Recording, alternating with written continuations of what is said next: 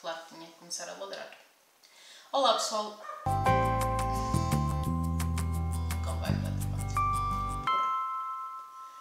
Olá pessoal, hoje tenho o vídeo dos favoritos para partilhar com vocês e vou dizer quais são os vencedores e quais são os prémios para este mês que vem, março. Então, os vencedores vou dizê-los no final, dizer os meus favoritos deste mês e de anunciar as, as coisas que vou dar para o próximo mês. Então, os meus favoritos deste mês, vou começar aqui pelo que eu já tenho. Tenho quase todos na minha cara, menos o batom.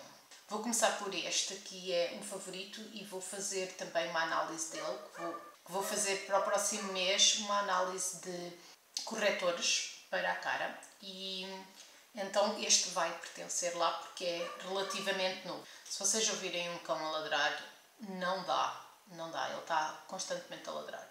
Então este é da Essence e é o Camouflage Cream Concealer e é tipo, tem dois diferentes e eu utilizo os dois.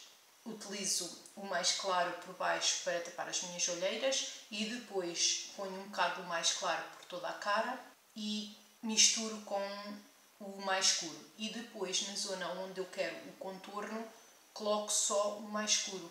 Depois utilizo, para contornar, vocês já sabem que eu utilizo o Prime and Fine, mas este é um para sempre favorito.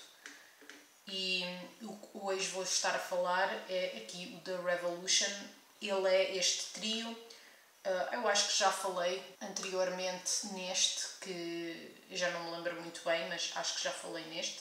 E tem estas três cores lindíssimas como vocês sabem, eu adoro este cor-de-rosa e este castanho. Para o olho, como vocês veem, eu tenho hoje no, nos olhos exatamente essas duas cores. São extremamente fáceis de, de esfumaçar e muito rápidos, rápidos de utilizar. Quando só preciso de, de utilizar, tipo não ter muita coisa, gosto de levar só comigo basicamente estes, dois, estes, estes três. E agora vão ser os quatro, que é com o highlight da Sleek, que também tenho nos meus olhos e tenho, é o, o highlight de hoje. Vou ter a análise deste no meu blog, eu vou deixar o link lá, já postei. E este tem um creme que é assim cor-de-rosa e parece muito mais escuro do que é, depois ele fica com um brilho e é esse que eu trago aqui na minha, minha pálpebra. Depois este eu tenho que é um amarelinho. Eles todos eles dão uma luz branca, mas este é tipo tons de amarelo por baixo e este tenho no, no canto. E depois também tenho este um bocadinho no canto, porque é para dar mais brilho ainda e misturar um bocado com o amarelo, que assim fica mais neutro. E este é o que eu tenho na cara, é o meu favorito para a cara. Eles dizem que é melhor para peles mais escuras. A minha pele é super clara resulta, acho que resulta perfeitamente para a minha cara e acho que é, é aquele que eu mais gosto. Se vocês quiserem ler, tem lá uma, uma análise mais profunda do que eu achei de, de tudo, de, da textura, de, de como fica na cara, quanto tempo fica. Tem lá no meu blog, vou deixar o link na descrição. Depois utilizei os pincéis e este é o da Real Techniques e é o Buffing Brush. Eu utilizo este para o contornar a cara e utilizo também este, este é da, do AliExpress, é assim um biquinho e ele é espetacular para utilizar com o pó porque é super grande e super fofo e é mesmo molzinho, tipo foi perfeito. Eu ter comprado este, comprei-o assim por acaso, a pensar se calhar não vai ser muito bom e ele é perfeito, acho que muito boa qualidade. Do AliExpress não estava à espera disso. Também da Real Techniques tenho este, que já está a começar a desaparecer as letrinhas de tanto utilizar, e este é o Deluxe Crease Brush. Este é o que eu faço sempre para esfumaçar, vocês veem nos tutoriais, é sempre aquele. Depois, para esfumaçar limpo, é este que eu utilizo, da Primark, e é o Smoky Eyeshadow, que se chama, e ele é tipo dual-ended, tem esta parte e esta, eu costumo utilizar isto para a parte de baixo das, das pestanas, por baixo das pestanas, mas hoje utilizei para pôr o highlighter cor-de-rosa da Sleek no canto. Utilizei para pôr a parte de baixo é este, também é do AliExpress e é assim pontiagudo e ele é muito, muito preciso, por isso é que eu gosto imenso dele.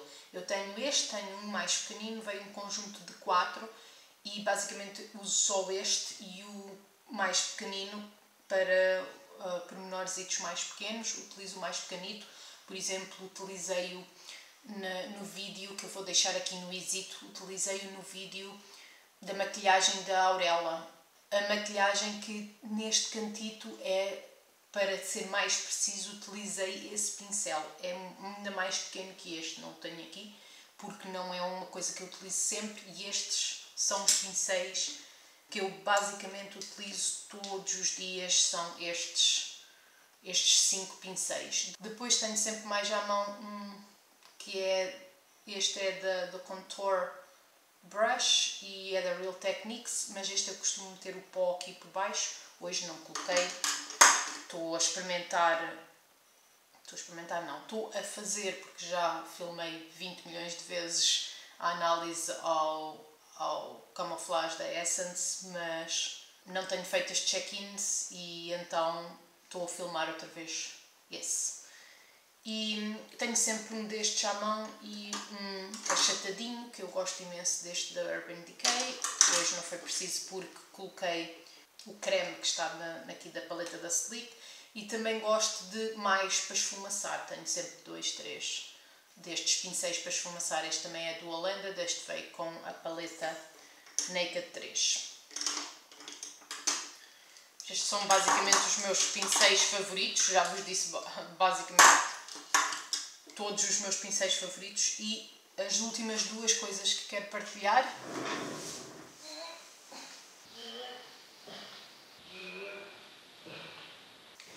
é este batom da Matte Matte Matte da Essence e é o vermelho que é lindíssimo e eu utilizei-o na maquilhagem de, de, para o dia dos namorados, vou deixá-lo aqui.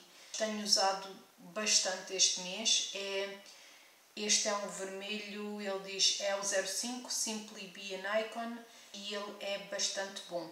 Há pessoas que dizem que estes não secam, para mim secam, só que demora bastante tempo, volta de duas horas mais ou menos a secar uh, e a ficar nos lábios, mas depois fica bastante tempo, só sai à comida.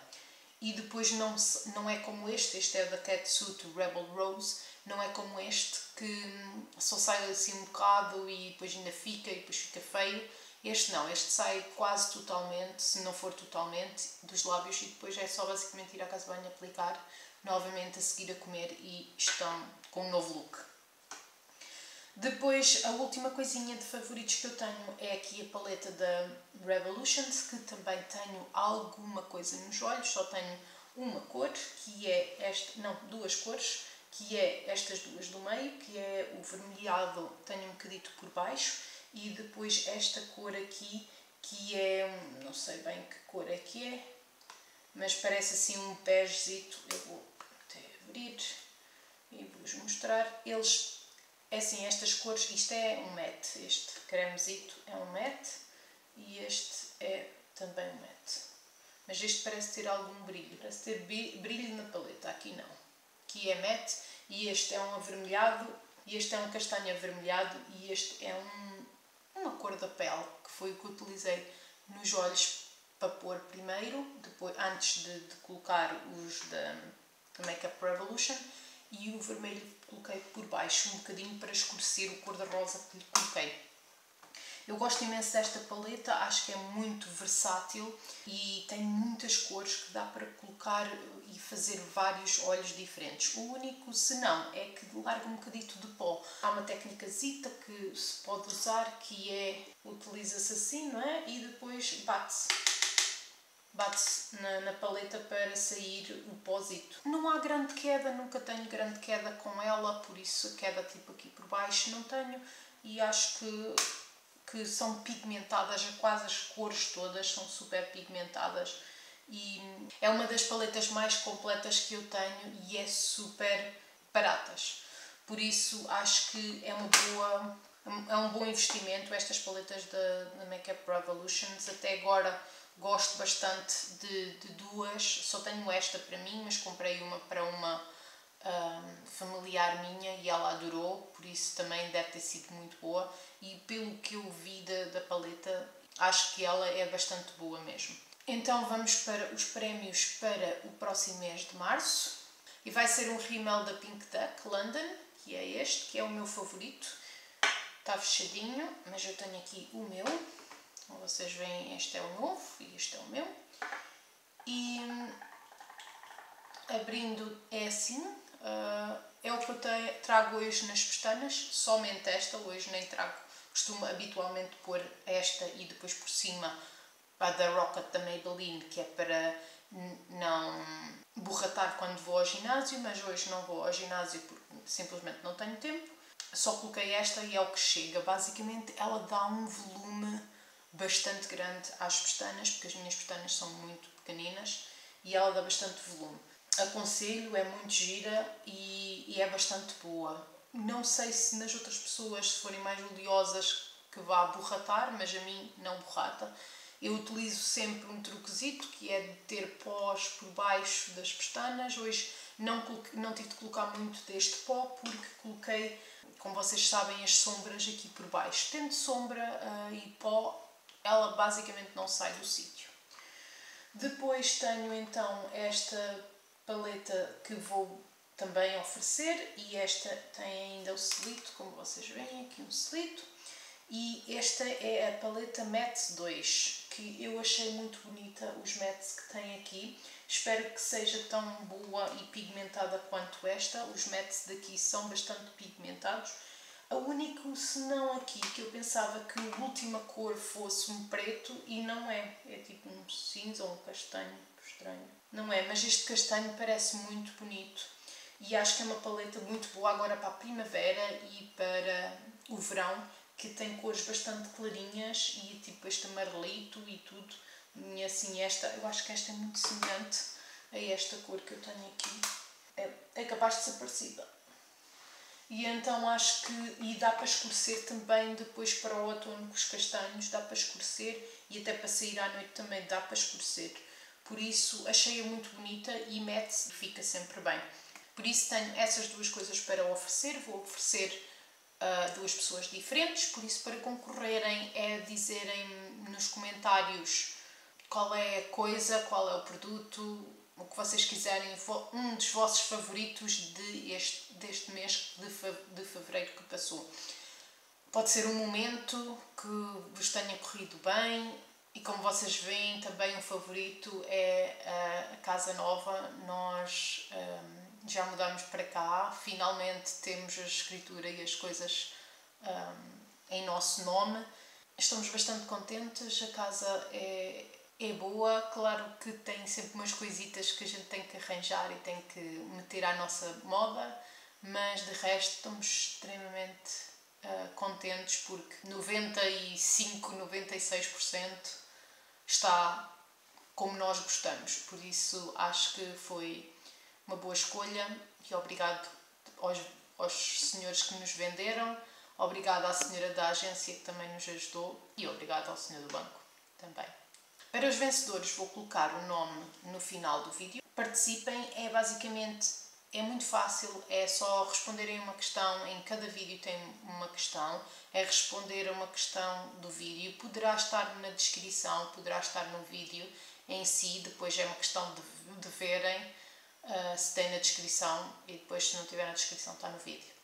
E é basicamente assim que participam também para ganhar estes prémios para o próximo mês. Boa sorte a toda a gente, espero que gostem destes prémios, são coisitas muito pequenas, mas que eu vou comprando algo para mim e vou comprando algo para vos dar. Se ainda não subscreveram o meu canal, subscrevam-se. Se gostaram do vídeo, façam like e obrigado por terem visto. Tchau!